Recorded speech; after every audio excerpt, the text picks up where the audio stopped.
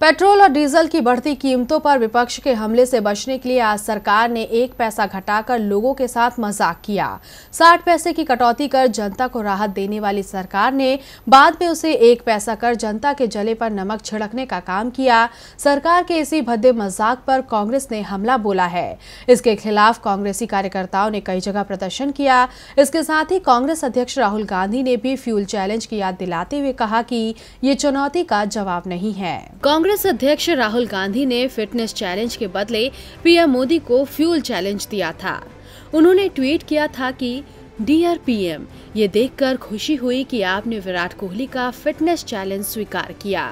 यहाँ मेरी ओर से भी एक चैलेंज है।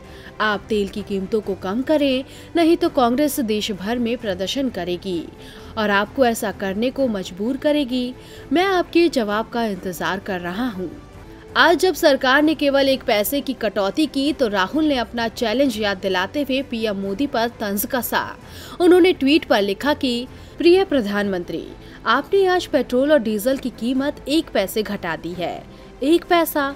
अगर ये मज़ाक बनाने का विचार है तो ये बचकाना और हल्का है। आपको बता दें कि आज सरकार ने पेट्रोल की कीमतों में महज एक पैसे की कटौती की है। पहले 60 पैसे की कटौती की गई थी, लेकिन दोपहर होते ही इंडियन ऑयल का बयान आया कि प्रिंटिंग में गलती हो गई है। कटौती केवल एक पैसे की हुई है। 16 दिन बाद जब पेट्रोल के दामों में सरकार ने केवल एक पैसे की कटौती कर जनता के जख्मों पर नमक छिड़का तो कांग्रेस अध्यक्ष राहुल गांधी के साथ कार्यकर्ताओं ने बीजेपी के खिलाफ मोर्चा खोल दिया और कई जगह प्रदर्शन भी किया। डीवी लाइव की रिपोर्ट।